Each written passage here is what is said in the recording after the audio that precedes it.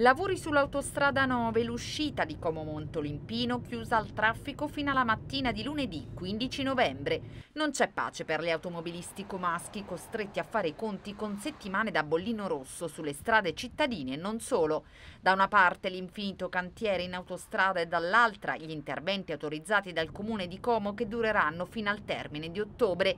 Intanto il calendario dei lavori sul tratto finale dell'autostrada 9 ha una data di fine. Il cantiere per l'ammodernamento e il consolidamento delle gallerie dovrebbe concludersi a fine anno, poco prima del periodo natalizio. Il condizionale però resta d'obbligo quando si parla di interventi e lavori il cui avanzamento è legato inevitabilmente anche alle condizioni meteorologiche. Nel caso in cui i tempi dovessero però allungarsi, la catastrofe sul fronte viabilità sarebbe annunciata. L'impatto per Como sarebbe devastante traffico ed eventi di Natale sono un binomio che ogni anno, pandemia esclusa, si ripete puntuale.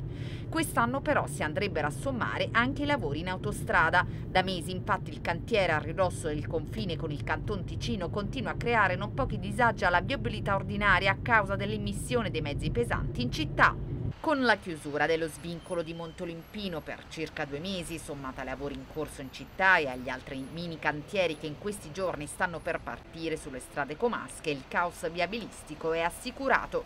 Infine la questione che riguarda il futuro del cantiere in via Borgovica a Como, dal comune di Como fanno sapere che l'amministrazione e Autostrada ancora non hanno fissato un incontro per calendarizzare l'avvio dei lavori.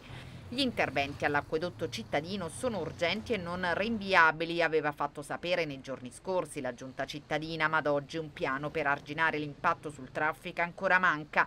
Nel mese di luglio scorso l'apertura del cantiere in via Borgovico fece in poche ore collassare la rete stradale ordinaria con l'effetto di essere immediatamente sospeso.